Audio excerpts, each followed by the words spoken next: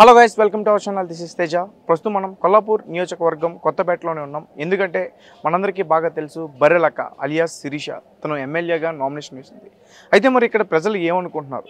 So మరి తను గెలుస్తుందా? గెలవదా? So మనం నిన్న ఒక అబ్బాయితో కూడా డిస్కషన్ చేసాం ఇందుకు అబ్బాయి చెప్పిన విషయాలు కూడా మనం అన్నీ కూడా బాగా చాలామంది కూడా విపరీతంగా కామెంట్స్ పెట్టారు. చాలామంది విపరీతంగా నన్ను విమర్శించారు. అయితే మరి నిజానికి ఈరోజు ఏ అయితే నేను నేను అడిగిన ప్రశ్నలు అన్నీ ఉన్నాయో ఈరోజు అవే ప్రశ్నలన్నీ కూడా వాళ్ళ ఫ్యామిలీని అడిగి నేను పూర్తిగా పూర్తి వివరాలన్నీ తెలుసుకునే ప్రయత్నం చేయడానికి ఈరోజు ఇక్కడికి వచ్చాను. సో ప్రస్తుతం అయితే మనం ఆ, బర్రెలక్క వాళ్ళ హోటల్ దగ్గర ఉన్నాం. ఆ హోటల్ పేరు కూడా మీరు చూసారు silent Chinese fast food centre so వీళ్ళని మొత్తం కూడా అసలు ఆ నామినేషన్ ఎందుకు వేశారు? దేని గురించి చేశారు అంటే ప్రభుత్వం పట్ల మీకు ఏమైనా వ్యతిరేకత ఉందా? ప్రభుత్వం నుంచి మీకు ఏమైనా సమస్యలు ఉన్నాయా? గతంలో ఆమె మీద ఒక కేసు ఉందని చెప్పేసి కొంతమంది బయట చెప్తా ఉన్నారు. ఆ కేసు గురించి మీ నామినేషన్ వేసిందా? లేకపోతే ప్రజా సమస్యలపై పోరాడడానికి ఈమె నామినేషన్ వేసిందా? లేదా నిరుద్యోగుల కోసం ఈమె పోరాటం చేస్తుందా? సో ఇవన్నీ కూడా మనం పూర్తిగా ఈరోజు ఇక్కడ తెలుసుకునే ప్రయత్నం చేద్దాం. వాళ్ళ ఫ్యామిలీ మెంబర్స్తో కూడా ఇవన్నీ కూడా మనం మాట్లాడే ప్రయత్నం చేద్దాం.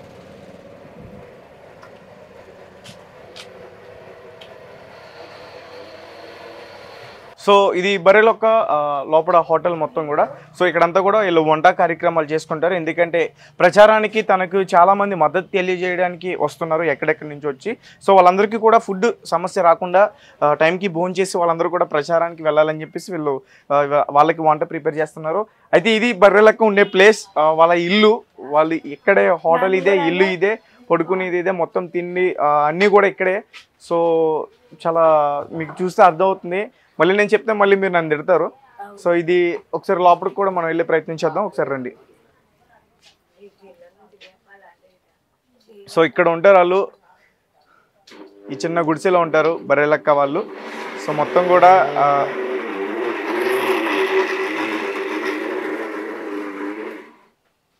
చూసారు కదా? ఇవన్నీ కూడా తన నామినేషన్ పాంప్లెట్స్ ఇవన్నీ కూడా తన నామినేషన్కి పాంప్లెట్స్ చేయించినట్టున్నారు. ఇవన్నీ కూడా ఇక్కడ ఉన్నాయి. ప్రస్తుతం అయితే తను నియోజకవర్గంలోకి వెళ్ళింది. ఒక నక్కలపాలెం అనే ఊర్లోకి తన ప్రచారం చేయడానికి వెళ్ళింది. ఇట్రా ఇది చూపిద్దాం. సో చూసారు కదా ఇది తన పార్టీ కండువా. కర్ణె శిరీష బర్రెలక్క. ఇక్కడ తన గుర్తు విజల్. మీ అమూల్యమైన ఓటు విజిల్ గుర్తుపై వేసి అధిక మెజారిటీతో గెలిపించ ప్రార్థన. సో ఇది మొత్తం కూడా చాలామంది మేము వచ్చినప్పుడు చాలామంది మెడల్లో ఇది చూసాం. నిజానికి నేను నమ్మలేదు. తనకి ఎంత ఫాలోయింగ్ ఉందా? చాలామంది తన గెలుపుని ఇంతలా కోరుకుంటున్నారా? సో ఇవన్నీ కూడా చాలా రెడీ చేసి పెట్టుకున్నారు పంచడానికి. అలాగే ఇక్కడ ధనమే గుణమైతే మీ బ్రతికెందుకు?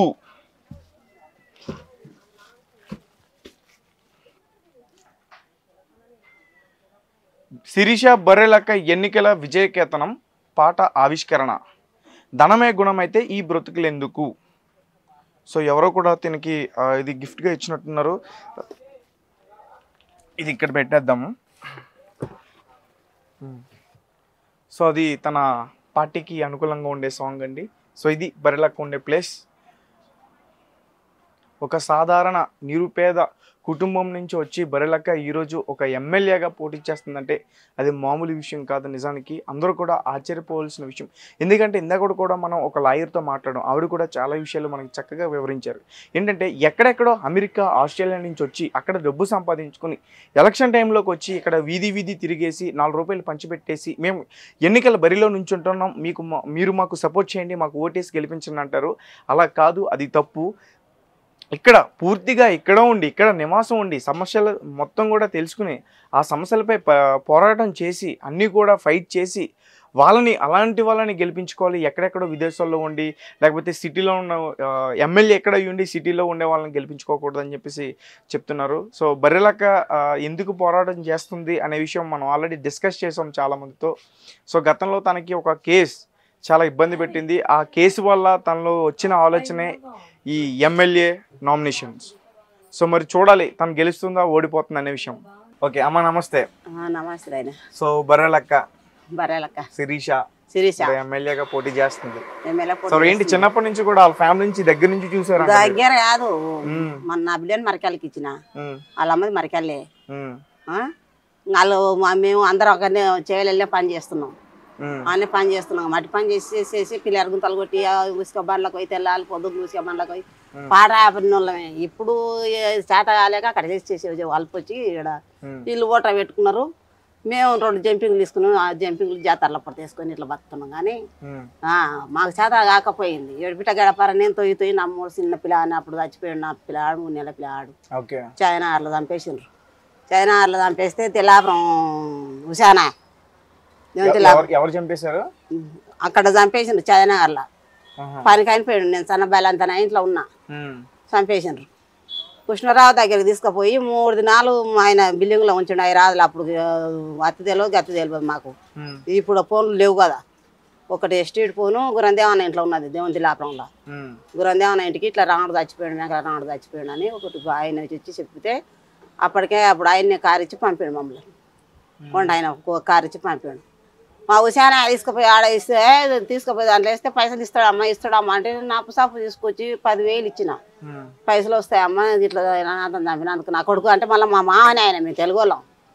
మా మామనే ఉషానాయ ఇస్తే వస్తే ఆయన నేను అప్పు సప్పు చేసుకొని నేను తెచ్చి ఇస్తే ఒక్క రూపాయి బిల్ల కానకపోతే కొడక ముగ్గురు ఆడవిల్లలు ఒక్కటే కొడుకు నాకు. ఐదు వరదాకా ఐదు అప్పులరు లిపిటి కొట్టి మాల్ పని చేసి మాల్ పని చేసి వీడికి అయినా ఈ రీతిలో విన ఉండవు చూడు. వాళ్ళ మరి వాళ్ళ తల్లిదండ్రులు ఏమన్నా రీతిగా ఉండరు. మేము సుఖపడోళ్ళ లాగానే ఉన్నామా? ఆమె కాగతి వచ్చి ఆమె నోటికే వచ్చింది. ఆమె నాకు ఇంత అగుస్తు వచ్చింది ఇంత చదివినాను మా అమ్మ మా నాయన బతుకులాకనే మా అమ్మ వాళ్ళు మట్టి పని చేసి నేను బర్రెలు కాస్తున్నా నేను చదివిన లాభం ఉంది అనుకొని ఆమె ఆమె అట్లా అనుకున్నది. అట్లా అనుకొని ఆమె బాధ అనిపించింది ఇంకా. ఏం చేస్తుంది ఇంకా?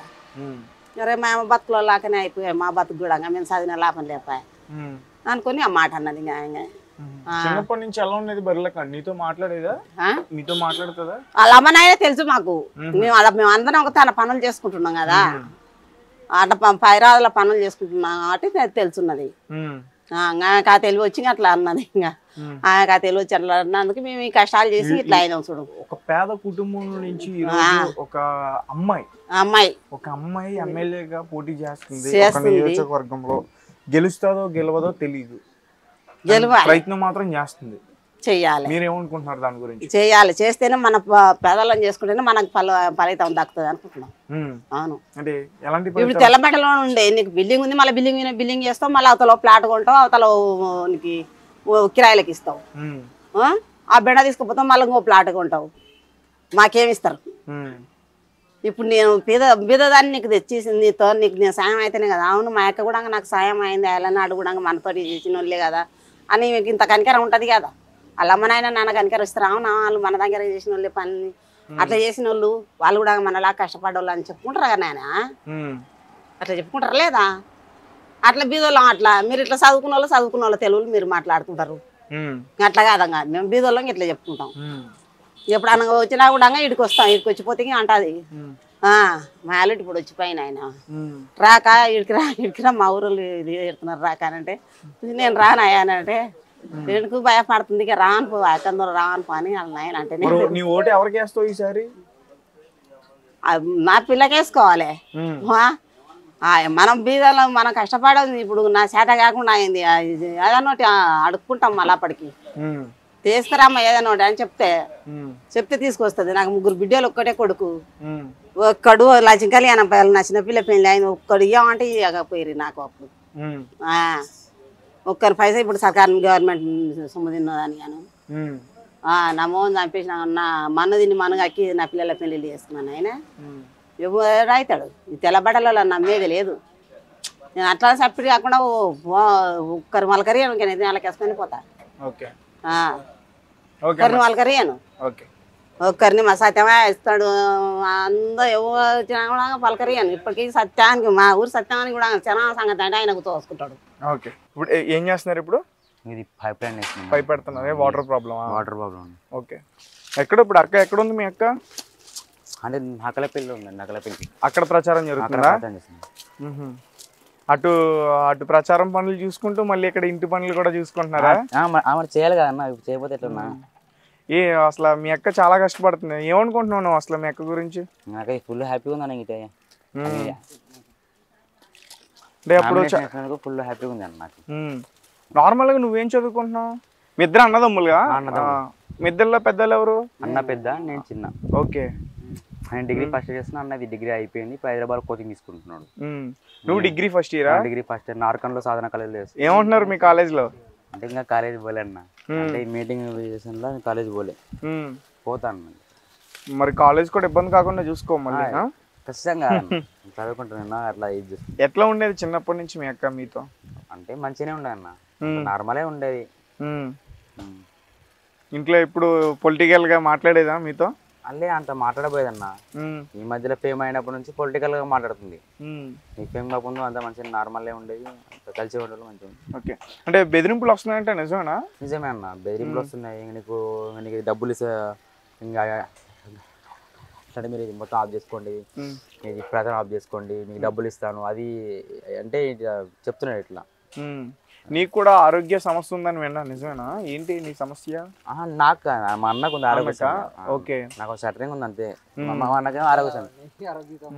కానీ మీ ఇద్దరిని అట్లా ఎక్కువ కష్టం పెట్టకుండా తను చాలా వరకు మీకు హెల్ప్ఫుల్ అవుతుంది కదా?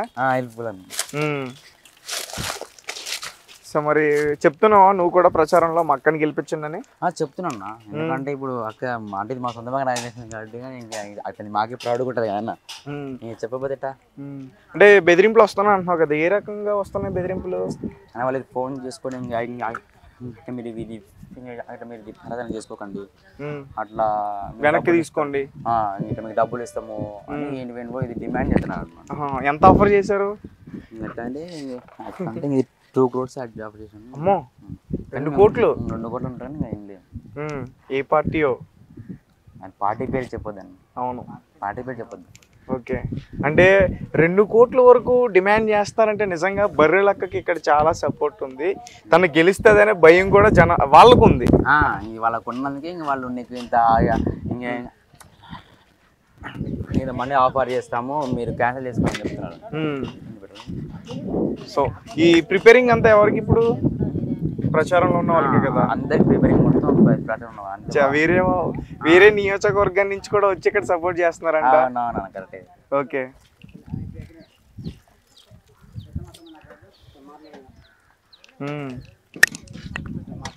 సో మీ ఏం చెప్తావు మీ అక్క గురించి ఫైనల్గా? చెప్తానంటే ఇంకా నార్మల్ నేనేం చెప్తాను. ఇట్లా ఇంకా బయట నుంచి బయట నుంచి బెదిరింపులు వస్తున్నాయి. ఇటు ఇంట్లో చూస్తే మీ నాన్నగారి కన్నా అమ్మాయి మీకు పెద్ద దిక్కు. అమ్మ తర్వాత అక్క. మరి పొలిటికల్ వేలో వెళ్తున్నారు. ఒక కుట్ర. రాజకీయం అనేది ఒక కుట్ర. అలాంటి దాంట్లోకి వెళ్తున్నారు. మరి పెద్దవాళ్ళు ఎలాంటి సలహాలు ఇస్తున్నారు మీకు? అంటే సలహాలు అంటే మీరు ఏం కాదు మీకు మీరు మీకు మేము ఉన్నాం అండగా సలహా ఇస్తాం. అంటే కొంచెం సపోర్ట్ మంచిగా ఉందన్న. భయం వేస్తున్నాయి అంటే ఎవరైనా ఏదైనా వచ్చి చేస్తారేమో? మాకి మాకేం భయం లేదన్న మంచిగా. మ్మ్. మాకే ఫుల్ హ్యాపీ మ్మ్. వాళ్ళు వచ్చి మాకు చేసి ఇంకా ఫేమ్ అవుతాం. వాళ్ళు మాకెందుకు భయం? వాళ్ళు వచ్చి ఏం చెప్తారు. ఏం చేయలేరు. బాధ అనిపిస్తుందా? అక్క అక్క మన కోసం చాలా కష్టపడుతుంది. చాలా తన భవిష్యత్తును కూడా త్యాగం చేస్తుంది. బా- బాధ అంటే ఇంక ఇది మా కోసమే కదన్న ఇది మా సొంత కాబట్టి మాకు చేయక తప్పదు. సో ఆ రకంగా బాధ అనిపిస్తుంది. బాధ అనిపిస్తుంది. అంటే మా కోసం అని చెప్పి చాలా కష్టపడుతుంది. ఇంకోటి పొలిటికల్లోకి వచ్చింది. ఇంకోటి అసలు అసలు ఇది ఫీల్డ్ ఎట్లుంటో కూడా తెలియదు. అట్లయినా కానీ ఇంకా ఇది ఫుల్ ఏమ ఇప్పుడు ప్రచా ప్రచారంలోకి వెళ్తున్నారు కదా జనాలు ఏమంటున్నారు? అంటే ఇంకా ఇట్లా అంటే ఇంకా ఇది పాజిటివ్నే మాడుతున్నారు అందరూ. అందరూ పాజిటివ్నే మాడుతున్నారు సరే ఇంకా ఇంకా ఇంకా మీకు సపోర్ట్ ఉంటుంది మేము మీకు ఓటేస్తాము. మాకు పాజిటివ్గానే మాడుతున్నాం అంటే మరి మీ అక్క గురించి కూడా బయట టాక్ వస్తుంది. అంటే ఎలక్షన్ టైంలో కావాలని ఏదో పాపులర్ అవడానికి చేసింది అని చెప్పి అదంతా ఫేక్ న్యూస్ అన్న అంతా ఫేక్ న్యూస్ వాళ్ళు ఎవరో మా ఎదుగుదల చూసి వాళ్ళు అసలు ఏం చేయలేక. అట ఎత్తారు కానీ అది మొత్తం ఫేక్ న్యూస్ అంతా కాదు అది. ఓకే. సో మొత్తానికి అయితే చూసి ఒక పెద్ద బ్లాస్ట్ న్యూస్ అయితే ఇప్పుడు చెప్పడం జరిగింది. రెండు కోట్లు ఆఫర్ చేశారు అయితే బర్రెలక్కకు. రెండు కోట్ల ఆవరేసాను ఎందుకంటే ఇప్పుడు అందరి ముందర ఫేమ్ వచ్చింది. ఒకవేళ ఇట్లా డబ్బులు కాసపడి మేము రిటర్న్ తీసుకుంటే అందరి ముందు ఏమనుకుంటారు చూడు ఈమె డబ్బులు కూడా ఆశపడి మొత్తం బ్యాడ్ అంటే మొత్తం ఇది బ్యాడ్ నేమ్ వస్తుంది. నిజానికి రెండు కోట్లు తీసుకుంటే లైఫ్ టైం సెటిల్మెంట్ అందరికి లైఫ్ టైం సెటిల్మెంట్ మేము మంచిగా రిచ్ కానీ వద్దన్న మాకు డబ్బులు ఏముందన్న ఫస్ట్ మనకు రిలేషన్ ఇంపార్టెంట్ మనకు ఫేమ్ ఇంపార్టెంట్ కాబట్టి. మేము. కూడా ఏం వద్దు రేసి ఏం వద్దు. డబ్బులు మనకు ఈ డబ్బులు ఇవ్వాలి కాకపోతే రేపు సంపాదించుకోవచ్చు కానీ దీనికైతే వదిలేయండి నీ ఏజ్ ఎంత ఉంటుంది మామూలుగా? నాది ఇరవై ట్వంటీ ఉంది ఇప్పుడు. ట్వంటీ ఉంది. 20 ఉంది. నార్మల్గా ట్వంటీ ఇయర్స్లో ఎవరు కూడా రారు. కానీ మీ ఇంట్లో మీ అక్క ఉండడం వల్ల మీరు కూడా ఓకే. అంటే మీ సార్స్ కానీ మీ ఫ్రెండ్స్ కానీ ఊర్లో ఫ్రెండ్స్ కానీ మీ రిలేషన్స్ కానీ మీ చుట్టాలు వాళ్ళందరూ కూడా ఫోన్ చేసి ఏమంటున్నారు? అంటే ఫోన్ చేసి ఇట్లా అంటే ఇట్లా ఏమంటారు అంటే నాకు నాకు రెస్పెక్ట్ రెస్పెక్ట్. ఎప్పుడు దక్కని రెస్పెక్ట్ దక్కుతుంది. మనకి ఎప్పుడు దగ్గర రెస్పెక్ట్ ఎప్పుడు తగ్గుతుంది మీ ఫ్యామిలీకి కూడా ఒక మంచి గౌరవం వచ్చింది. ఫుల్ పవర్ వచ్చింది ఇప్పుడు. అట్లా. ఓకే. సో మొత్తానికి ఖచ్చితంగా గెలవాలని కూడా మేము కోరుకుంటున్నాం. ఎందుకంటే. ముఖ్యంగా తను నిరుద్యోగ సమస్యల గురించి పోరాడుతుందని విన్నాము. అయితే గతంలో కేసు కూడా ఉందంట. అక్క మీద ఏంటి కేసు? అంటే సోషల్ మీడియా కేసు అన్న. అది చిన్న ఏదో వీడియో ఇది బర్ల వీడియో వేసి ఉమ్, చేస్తే ఇంకా వాళ్ళు ఇది పోలీస్ కేసు పెట్టిండ్రు మా మీద. దా- చాలా ఇబ్బంది పెట్టారంట కదా. చాలా ఇబ్బంది పెట్టారు అసలు? తిప్పడం అంటే ఉత్త ఇట్లా అట్లా స్టేషన్ తిప్పడం తర్వాత ఇది కోర్టు తిప్పడం. మస్తు ఇబ్బందులు పెట్టిండ్రు కానీ అన్నీ ఎదుర్కొన్నాం ఇంకా. ఓకే. సో మరి నీ నీకు వచ్చినట్టుంది ఓటు హక్కు. వచ్చింది వచ్చిందన్న. ఈ ఇయర్ వచ్చింది కదా? ఇయర్ వచ్చింది మరి ఎవరికి వేస్తావు ఓటు? మా అక్కకి వెళ్తా ఇంకెవరికి వెళ్తా నేను? ఓకే. ఎమ్మెల్యేకి మీ అక్కకి వేస్తావు. మరి పైన ఎంపీకి ఎవరికి వేస్తావు? ఎంపీ వరకు ఎవరు మంచిగా ఉంటే ఎవరు మంచిగా అనిపిస్తే వాళ్ళకి వేస్తాం. ఓకే. అన్నారు. ఓకే మరి చెప్పు మరి విజిల్ ఊది అక్కకు ఓటేయండి అని. చెప్పు మరి చెప్పు వాళ్ళకి ప్రజలకు చెప్పుకోగలరు కదా నీ వైపు మా నుంచి. అక్క ఇది ఓటేయండి. విజిల్ గుర్తుకే? మన ఓటు. ఓకే. మన ఓటు కాదు అందరూ మనందరూ vote. Okay thank you. So guys Barrelakka brother second brother అండి? First brother. First brother. Shivaprasad ప్రస్తుతం మనతో పాటు ఉన్నారు. ఎట్లా నడుస్తుంది ఈ ప్రచారం? ప్రసాద్ బాగా ప్రసాద్ బాగా ఇక హవా చేస్తుంది మంచిగా నడుస్తుంది అంతే బాగా వేరే వేరే డిస్టిక్ నుంచి వస్తున్నారు కదన్న వాళ్ళు. వాళ్ళ. వాళ్ళ- ఆ, వాళ్ళ సపోర్ట్ బాగుంది అన్న ఇక్కడ ఉన్న వాళ్ళకన్నా వాళ్ళ సపోర్టే బాగుంది. ఓకే. సో ఫైనల్గా నిన్ను క్వశ్చన్స్ అడిగేస్తా. ఓకేనా? ఓకే అన్న డన్ మీ అక్క వెనకాల నూట యాభై మంది తప్ప ఇంకెవరు లేరు. వీళ్ళు ఏదో సోషల్ మీడియాని కొంచెం సపోర్ట్ తీసుకుని ప్రచారం చేస్తున్నారు. అది నిజమా? అబద్ధమా? నిజం. హ్మ్? నిజం అన్న. నిజమేనా? నిజం ఇప్పుడు ఎంతమంది ఉన్నారు మీ అక్క వెనకాల? ఇప్పుడు ఉన్నారన్న బాగా వందకు పైనే ఉంటారు. మరి వందకు పైగా ఉంటే నియోజకవర్గంలో గెలిచేది ఎలా నియోజకవర్గంలో కొన్ని వేల ఓట్లు ఉంటాయి కదా? ఉంటే అన్న అంటే వాళ్ళకు అవేర్నెస్ లేదు కదా అన్న. వాళ్ళకి అవేర్నెస్ లేదు. ఇంకోటి చిన్న చూపు ఎక్కువ అక్కడ సైడ్. ఈ వీళ్ళు వీళ్ళు అయ్యేది వీళ్ళకి ఏంది పోస్టులు ఇంకోటి క్యాస్ట్ ఫీలింగ్ కూడా ఎక్కువ. ఆ క్యాస్ట్ ఫీలింగ్ వల్ల కూడా ఈ ప్రచారం దెబ్బతింటుంది. ఓకే అంటే ఏ క్యాస్ట్ మామూలుగా? మేము ఎస్సీ అన్న. ఎస్సీ సో క్యాస్ట్ ఫీలింగ్ కూడా చూపిస్తున్నారా క్యాస్ట్ ఫీలింగ్ కూడా చాలా చూపిస్తారు. సరే మరి మీ క్యాస్ట్ వచ్చేసరికి ఏమంటున్నారు మా మా క్యాస్ట్ అయినా అయినా ఎవరైనా సపోర్ట్ చేస్తారు అన్న బేసికల్గా అవేర్నెస్ తీసుకురావాలి ఎందుకంటే మేము అందరి కోసం పని చేస్తున్నాం కదా అన్న ఓకే ఇంకా ఎన్ని రోజులు అన్న మన చరిత్ర చూసిన స్వాతంత్రం వచ్చినప్పటి నుంచి రావులు రెడ్డిలు వీళ్ళే పరిపాలన ఉంది వాళ్ళకి మన పరిస్థితి ఎట్లా తెలుస్తుంది చెప్పండి మన వాడి మాట- మాట వరుసకి వచ్చినా కూడా. మన కష్టాలు చూస్తున్నాం మనం ఎట్లా మన ఫుడ్ మన దినచర్య ఎట్లా ఉందనేది మనకు తెలుస్తుంది.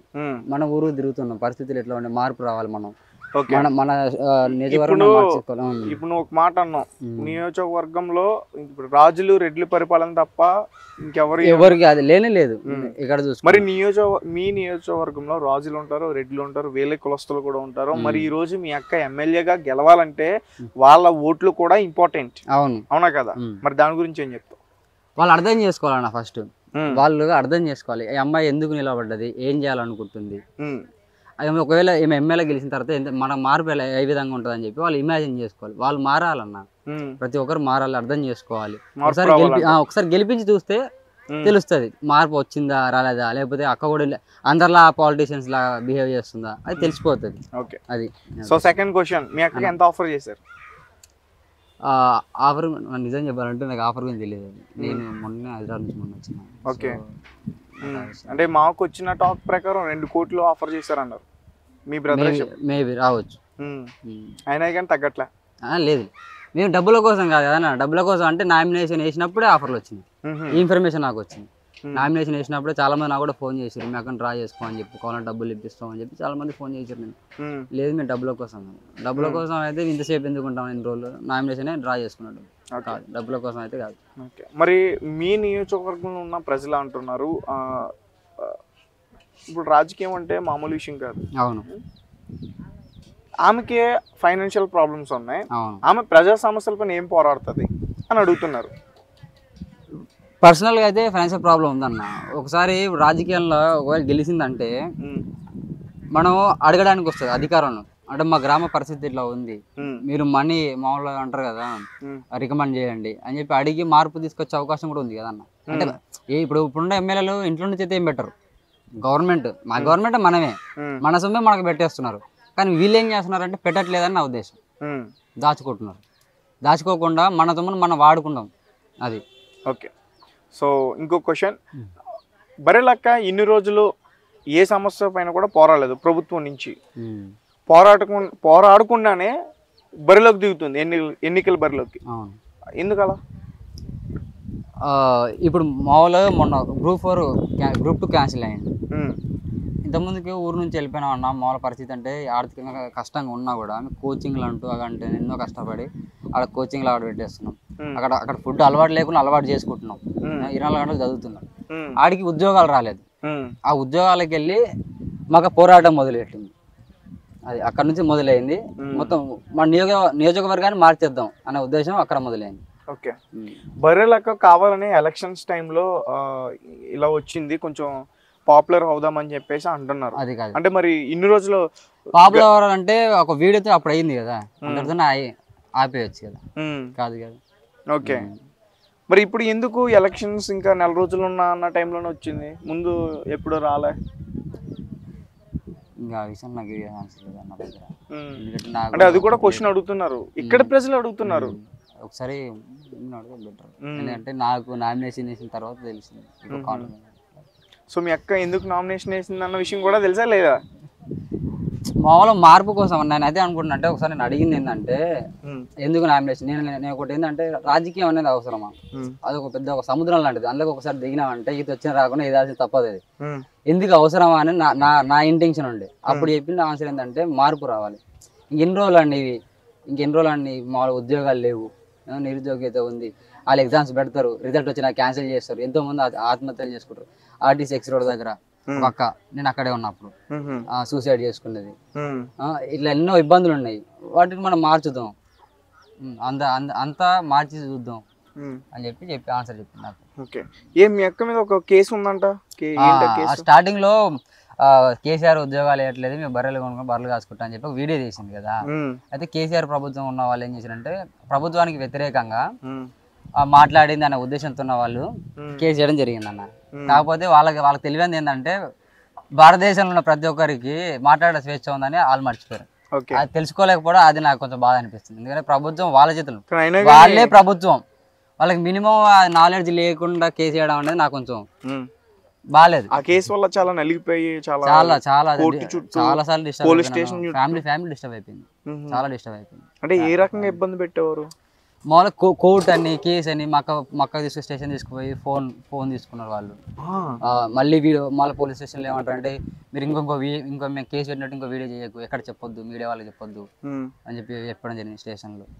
ఇలాంటి చేసిన ఒకసారి ఇంటి అక్క మీద అంటే అక్క మీద కేసు వారికి అందరికి ఎట్లా ఉంటుంది అందరికి మామూలుగా మాట్లాడే వాళ్ళు కూడా ఎట్లా మాట్లాడతారు అంటే నీకు ఏం అనవసరంగా ఇలాంటి చేసింది నీకు అవసరమా ఇవన్నీ ఎవరు బాధ వాళ్ళు పడతారు నీకు అవసరమా.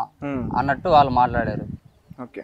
అండ్ ఇంకొకటి మీ ఇంటి మీ ఉన్న హోటల్కి ఆపోజిట్లోనే భారత రాష్ట్ర సమితి పెద్ద కొత్తపల్లి మండల పార్టీ కార్యాలయం. ఎప్పుడు పెట్టారు అది? రీసెంట్ గానే పెట్టారన్న కావాలని పెట్టారంటావా? ఏ, అన్ని అనుకోవచ్చు అది కూడా. అది కూడా అనుకోవచ్చు. రీసెంట్గా పెట్టారు ముందు లేకుండా. నేను చూడలేదు ఇప్పుడే గమనించాను దాన్ని. సో ఎవరన్నా మరి అటు నుంచి ఎవరన్నా ఇక్కడికి వచ్చి అమ్మ మీరు మా పార్టీలోకి రండి అని ఎవరన్నా అడిగారా? ఫస్ట్ అయితే మా నామినేషన్ ఇచ్చినప్పుడు చాలా మంది వచ్చారు అన్న చాలా మంది వచ్చి నా డ్రా చేసుకోమని అడిగారు కొంతమంది. లేదంటే మా పార్టీ టికెట్ ఇస్తామని చెప్పి కూడా అడగడం జరిగింది. లేదా ఇండిపెండెంట్ గానే ఉంటాను నాకు. నాకు ఏ పార్టీ న్యాయం చేస్తా నమ్మకం లేదు. ఇండిపెండెంట్ న్యాయం చేసుకుంటా. నా ప్రజలు నేనే న్యాయం చేస్తా అని. ఇండిపెండెంట్ గానే నామినేషన్ వేసింది ఓకే. సో మొత్తానికి గెలుస్తుందనే నమ్మకం నమ్మకం అయితే ఉంది. అన్న. ఊర్లో రెస్పాన్స్ కూడా బాగానే ఉంది. మేము ప్రచారానికి పోతున్నాం కదా. రెస్పాన్స్ కూడా మంచిగానే ఉంది. ఏమంటున్నారు? ఒక్క విషయం చెప్పు. ఒక్క మాటలో చెప్పు. వాళ్ళందరూ ఏమంటారు అంటే ఇప్పుడు ఒక ఒక అతను ఉన్నాడు.